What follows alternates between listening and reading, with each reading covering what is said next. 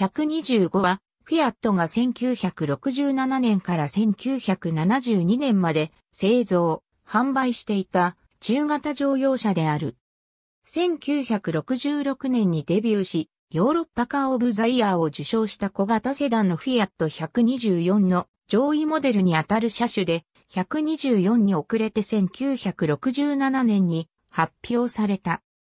しかしその車種設計は、先代モデルのフィアット1300、1500の改良型で、124セダンのホイールベースを1300、1500と同じになるよう 85mm 延長したボディを1300、1500シャシーに仮装した上、排気量を 1608cc まで拡大した124スポルトの DOHC エンジンを搭載したものである。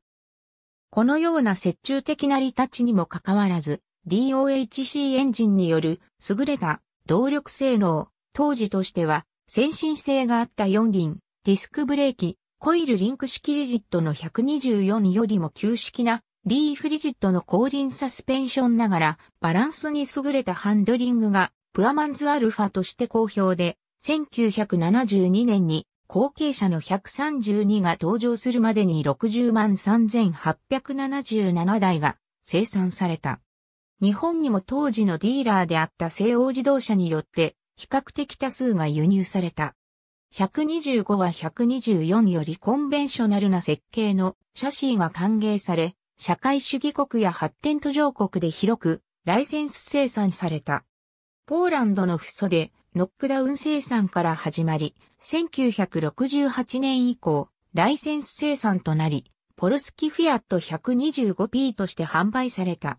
ライセンスが失効した1983年以後は、フソブランドとし、フソ 125P となった。フィアット125に比べてバリエーションは絞られていたが、1972年には本国になかったステーションワゴン版も追加されている。1978年には 125P のメカニズムをほとんどそのまま流用し、全く新しいデザインのボディを組み合わせたポロネーズの生産が始まっているが、125P の生産も並行して続けられ、1991年までにオリジナルをはるかに上回る144万5699台が生産された。アルゼンチンでは、フィアットコンコードとして1972年から1982年まで生産され、ここではワゴンのみならず850クーペに似た2、ドアクーペ、ピックアップトラックなど18万8971台が作られた。1978年には131に倣って125ミラフィオリと解消された。